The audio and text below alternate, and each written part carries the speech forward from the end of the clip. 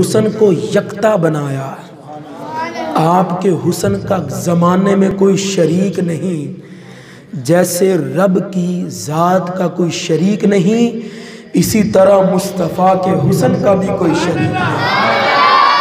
ام المؤمنین حضرت سیدہ عائشہ تصدیقہ رضی اللہ تعالی عنہ فرماتی ہیں کہ نبی کریم علیہ السلام کی سیرت میں صورت میں گفتار میں گفتار میں، گفتگو کرنے میں، چلنے میں، پھرنے میں، اٹھنے میں، بیٹھنے میں سب سے زیادہ اگر کوئی مشابہ رکھتا ہے تو سیدہ خاتون جنت کی ذات ہے۔ تو حضرت سیدہ خاتون جنت، آپ حضور کے مشابہ ہیں، مثل نہیں ہے سمجھ آئی بات کی؟ سمجھ آ رہی کہ بس ایویں؟ ہاں جا کے بیٹھی ہے۔ حضور کے حضور کے میلاد کی محفل میں آ گئے تو بس بھول جائیں۔ پیچھے ہم نے کہیں جانا ہے، وقت دیا ہے، بس بھول جائیں۔ حضور کے ذکر کے لیے آ گئے بس آ گئے ہیں۔ اب تو جیئیں گے بھی مصطفیٰ کے لیے، تو مریں گے بھی مصطفیٰ۔ امام بصیری رحمت اللہ تعالی علیہ، آپ نے کمال کیا۔ آپ فرماتے ہیں، رب کریم نے مخلوق میں جوہری حسن جوہری حسن کہتے ہیں ذاتی حسن کو۔ جوہری حسن مخلوق میں رب نے اگر کسی کو عطا کیا تو اپنے محبوب لاڈلے کو عطا کر دیا۔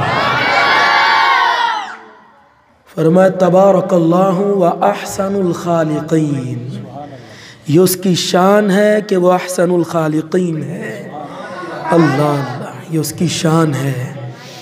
تو کیسی شان؟ اتنی ورا الورا شان۔ محبوب کو حسن میں بھی یکتا رکھا اور شان و کمال میں بھی یکتا رکھا۔ حصور حضور کے حسن کی مشابہ تو رکھ دی۔ کئیوں نے لکھا سیدہ خاتون جنت میں ہے، تو کئیوں نے لکھا حسنین کریمین میں ہے۔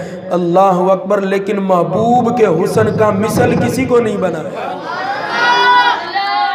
بات بڑی توجہ طلب ہے۔ نبی کریم علیہ السلام رب کریم جو احسن الخالقین ہے۔ رب کریم نے جو خاکہ بنایا ایک فوٹوگرافر ہوتا ہے نا اس کے پاس خاکے ہوتے ہیں۔ تو وہ خاکہ بناتا ہے۔ تو رب کے پاس تو خاکہ موجود نہیں ہے لیکن پھر بھی اتنی پیاری صورت بنا دی۔ اتنی پیاری صورت اس نے بنا کر وہ صورت انسان کو عطا کر دی۔ پھر فرمایا رب کریم کے پاس جو خاکے تھے، ان خاکوں میں سب سے احسن خاکہ۔ ہم تو حسن کی بات کر رہے ہیں نا، لیکن میں احسن کر رہا ہوں۔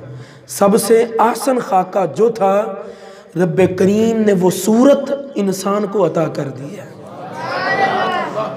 عرض کی، انسان کو اتنا سونا بنایا کیوں ہے؟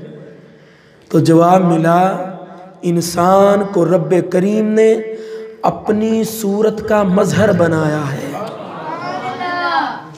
تو اس کی صورت نہیں، وہ سونا ہے، رب کریم حسین ہے۔